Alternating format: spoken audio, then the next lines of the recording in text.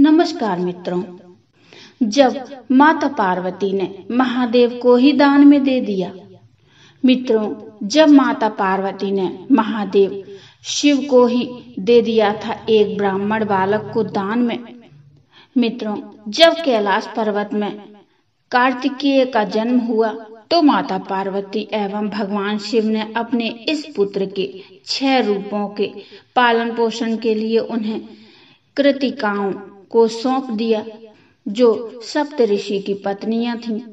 महादेव शिव के कार्तिकेय को कृतिकाओं को सौंपने का एक और कारण भी था कि कृतिकाओं की देखरेख में कार्तिकेय उन ज्ञान को ग्रहण कर लेंगे, जो उन्हें देवताओं के सेनापति बनने के समय मदद करेगी, तथा वह दुष्ट तारकासुर का वध कर देवताओं को उसके अत्याचारों से मुक्ति दिलाएँगे तारकासुर एक शक्तिशाली दैत्य, जिसे ब्रह्मा जी का वरदान प्राप्त था, तथा वह केवल भगवान शिव के पुत्र के हाथों ही मारा जा सकता था। जब कार्तिकेय बड़े हुए तो उन्होंने तारकासुर का वध किया, तथा इसके बाद उन्हें दूसरे राज्य उसके सुरक्षा के लिए भेज दिया गया। अतः इस प्रकार माता पार्वती अपने पुत्र कार्तिकेय के साथ ज़्यादा समय व्यतीत नहीं कर पाए माता पार्वती की एक पुत्री भी थी जिनका नाम अशोक सुंदरी था। अशोक सुंदरी भी बाल्यावस्था में ही ध्यान योग से प्रेरित होकर कैलाश पर्वत से दूर किसी अन्य स्थान में तपस्या के लिए चली गईं, क्योंकि भगवान शिव भी अपना अधिकतर समय ध्यान में ही व्यतीत करते थे अतः माता पार्वती अकेलेपन से परेशान होकर अपनी माता मैनावती के पास इस समस्या का उपाय पूछने गईं। देवी पार्वती की माता इस समस्या की गहराई में जाते हुए बोली कि असली समस्या तो तुम्हारे पति महादेव शिव हैं।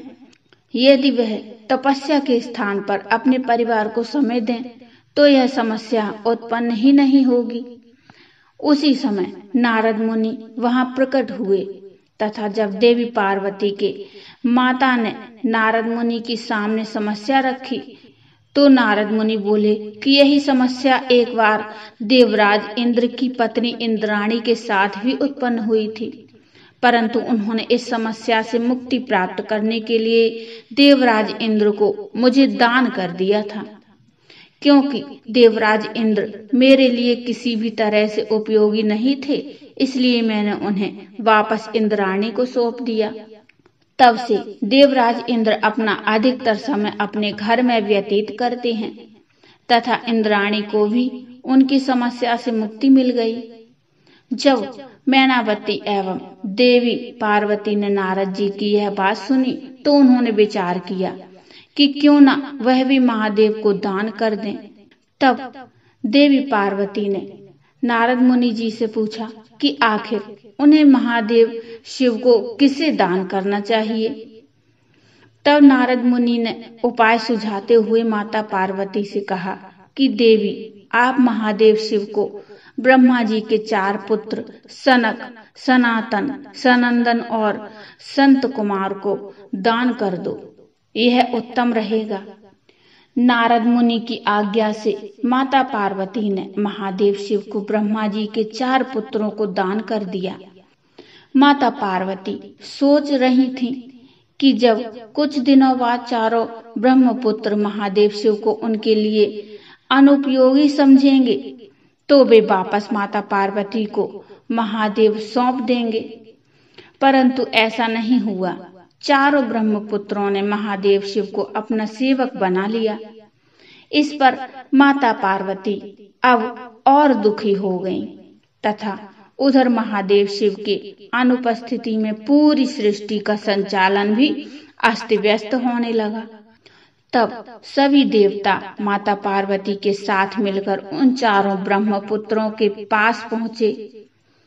तथा भगवान शिव को वापस देने की प्रार्थना करने लगे। माता पार्वती ने उन ब्रह्मपुत्रों को समझाया कि अगर भगवान शिव पुनः सृष्टि की संचालन में सहयोग नहीं देते तो पूरी सृष्टि प्रलयमय हो जाएगी। इस प्रकार उन्हें बहुत समझाने पर चारों ब्रह्मपुत्रों ने महादेव शिव को वापस माता पार्वती को सौंप दिया। तो बोलो, हर हर महादेव। मित्रों, ये शिव पुराण की कथा आपको कैसी लगी? मुझे कमेंट में बताइए। कथा अच्छी लगी हो तो लाइक करिए और चैनल को सब्सक्राइब कर लीजिए। और हाँ कमेंट में हर हर महादेव ज़रूर लिखिए। मिलते हैं फिर एक और नई कथा के साथ। तब तक के लिए हर हर महादेव।